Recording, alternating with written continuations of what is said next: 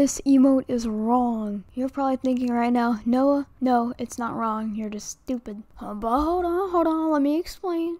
As you can see, the You Can't See Me emote is epic, nothing too special, but what is special is the price. If you were to look closely, you can see that something is a little off. Most emotes that are epic are 800 V-Bucks, as you can see on screen, but instead it's 400 V-Bucks, which means that it costs more than an uncommon emote, which is 200 V-Bucks, but it's cheaper than a rare emote, which costs 500, making this a very unique emote, but that also means that